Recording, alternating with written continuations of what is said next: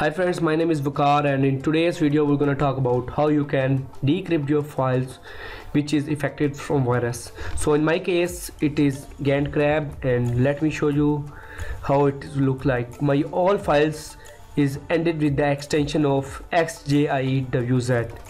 So to encrypt or decrypt these files we need a software which is called as GandCrab software.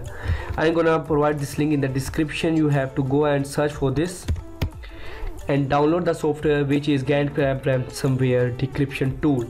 It is provided by the Bitdefender which is very reputed company and very much trusted. So don't worry don't hesitate to download just download it. So it has many variants variant 1 variant 2 variant 3 variant 4 variant 5 and 5 next one 5 points 1 2 3 4 5 6 so if you know what variant is that then it is okay. If you don't know then go go below and download this from here. After the download I already downloaded that. So again let it download.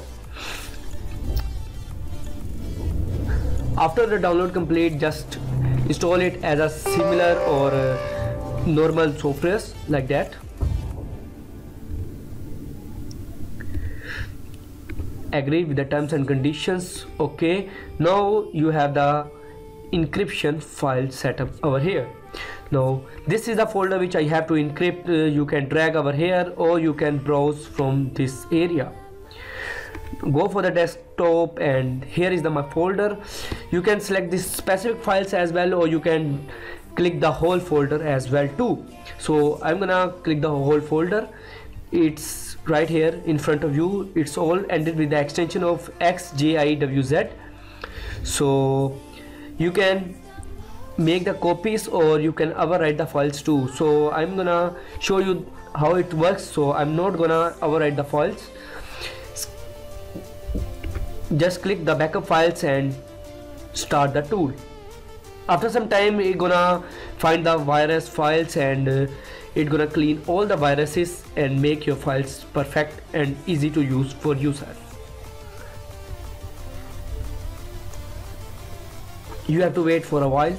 It may be one two three minutes or maybe 10 minutes because it depends on the files. My file folder is of 17 MBs and uh, it takes some time maybe around 5 minutes. So let's wait for it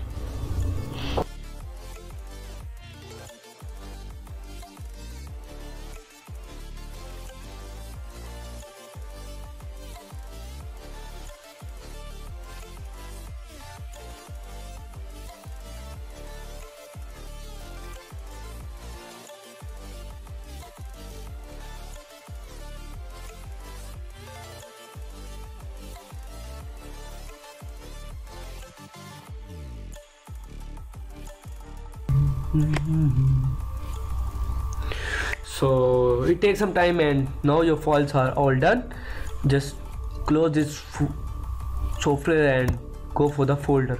Now you can see that my all files are here.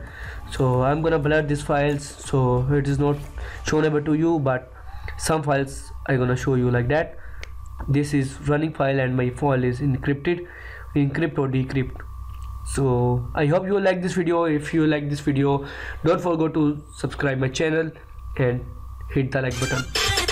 See you